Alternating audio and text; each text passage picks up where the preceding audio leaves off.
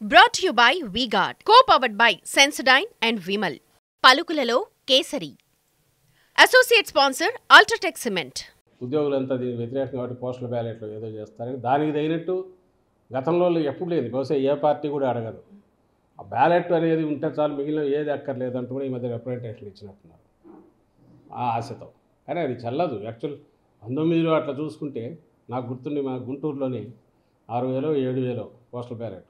Out right cover మీద number లేదని reject చేసినట్టు నాకు గుర్తు. సీరియల్ నెంబర్ లేదని అట్లా కూడా చేశారు. ఈసారి ఏమో ఏది వద్దని వాళ్ళే అడుగుతున్నారు. ఈసీఐ ఏ గైడ్ లైన్స్ ఇచ్చినా దేశం అంతా ఎట్టుంటే అట్లా ఫాలో అయితే సరిపోతుంది. మాకైతే దాని మీద ఎలాంటి ప్రత్యేకమైన కోరిక లేదు. అయితే దేశం అంతా ఉన్నది ఇక్కడ ఫాలో కమ్మంటున్నాం. ఇక్కడ ఏదో వేరే డిఫరెంట్గా ఉన్నది దాని మీద రిప్రజెంటేషన్ కూడా ఇచ్చాం. అది తీసి ఎందుకంటే that that contradicts contravenes the spirit of ECI ఇచ్చిన దాన్ని కాబట్టి దాన్ని తీసేయమని అడిగాము. అట్లా చేయకుండా ఉంటే బాగుండు బాగుండేది. మరి ఎందుకు చేశారో వాళ్ళే ఈసీఐ చెప్పాలి? ఇప్పుడు మీరు గమనిస్తే గత పది పదిహేను రోజులుగా అసలు అక్కడ ఏం జరుగుతుంది మాచర్లు అంటే మాచర్ల సెంట్రిక్గానే మొత్తం ఆ ఎల్లో మీడియా కానీ ఆ పార్టీ కానీ టీడీపీ కానీ నడుపుతున్నారు. ఒక ఎమ్మెల్యేని టార్గెట్గా పెట్టుకొని. ఈ నేపథ్యంలో రెండు చెప్పారు ఒకటి ఎన్నికల కమిషన్ అనేది ఏదైతే అంపైరింగ్ రోల్ చేయాలి ఇక్కడ ఒక నిష్పక్షపాతంగా అటు ఇటు సైడ్ తీసుకోకుండా చేయాలి. చేస్తుందనే మా ఆశ చేయాలనే మా కోరిక. అందుకోసం ఎప్పుడైతే ఎన్నికల కోడ్ వచ్చినప్పటి దగ్గర నుంచి కూడా మీరు గమనిస్తే మా పార్టీ కానీ అధికారంలో ఉన్నప్పటికీ ముఖ్యమంత్రి గారితో సహా డిస్టెన్స్ అయ్యాం అక్కడికక్కడ అలాగే ఏ నిర్ణయం తీసుకున్నా కూడా ఇద్దరికి సమానంగా ఉండే రకం ఏది తీసుకుంటున్నా కరెక్ట్ అనుకుంటున్నాం. కానీ దురదృష్టవశాత్తు ఈ ఎన్డీఏని కూటమి ఫామ్ అయినప్పటి నుంచి ఆ తర్వాత పైన ఎక్కడైతే సెంటర్లో బీజేపీ ఉన్నదో అంత పొత్తు పెట్టుకున్నప్పటి నుంచి ఎన్నికల కమిషన్కు ఆ బాబు దోమపోట్లాగా బాబు బాబు బాబు కాటో లేక బాబు వైరస్ ఏదో సోకినట్టుంది. ఇన్ఫెక్షన్ వచ్చిందేమో అని అనిపిస్తుంది. అది ఎంతవరకు పోయిందంటే ముందు అనుమానంగా ఉండేది ఇప్పుడు నిజమని కూడా అనిపించే రకంగా ఎన్నికల కమిషన్ వ్యవహరిస్తున్న తీరు.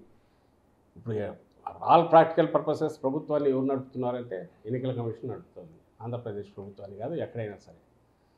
అది ఎంత జోక్యం చేసుకుంటోంది ఇప్పుడంటే ఇప్పుడు మీరన్న ఈ కేసుకు సంబంధించి మాచర్ల కేసులో కూడా అది కనిపిస్తుంది. అక్కడ ఆ రోజు ఈవీఎం జరిగిన సంఘటన ఏదైతే ఉందో దాని మీద మీరు పోవడానికి అసలు ఆ వీడియో ఎక్కడి నుంచి వచ్చింది? దాని లేదు. అలాంటి వీడియోలు మిగిలినవి ఎందుకు రిలీజ్ చేయాలంటే వాటిని రిలీజ్ చేయదు ఎలక్షన్ కమిషన్. నువ్వు నిష్పక్షపాతంగా వ్యవహరిస్తున్నావు అంటే ఎక్కడెక్కడ ఈవీఎంలు డ్యామేజ్ అయినా ఉన్నాయో అవన్నీ బయట పెట్టాలి. బయట పెడుతూ దానికి ముందు తర్వాత జరిగినవి ప్రెమిసెస్లో ఏం జరిగిందో కూడా బయటకు రావాలి. అది ఎందుకు చేయట్లా? ప్లస్ ఆ వీడియో బయటకు వచ్చింది ఎట్లా వచ్చింది? వీడియో బయటకు వచ్చిందంటే మాకు తెలియదు సంబంధం లేదనడం కాకుండా ఇమ్మీడియట్గా సీరియస్ కేసు పెట్టాలా లేదా? కేవలం ఎన్నికల కమిషన్ ఆధ్వర్యంలో ఉంది కాబట్టి మిమ్మల్ని అడుగుతాం. ప్రభుత్వం ఆధ్వర్యంలో ఉంటే మమ్మల్ని ఎట్లయితే అడుగుతారు అడిగేవాళ్ళు.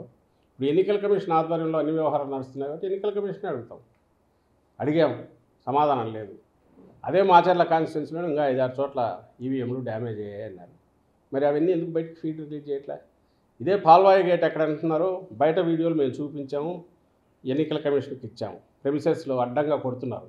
న్యూట్రల్ ఓటర్స్ కానీ వైఎస్ఆర్సీపీ ఓటర్స్ కానీ లేకుంటే ఎస్సీ బీసీ మైనారిటీలకు చెందిన ఓటర్లను కానీ రానివట్ల brought you by V Guard co powered by Sensodyne and Vimal పలుకులలో kesari. Associate sponsor UltraTech cement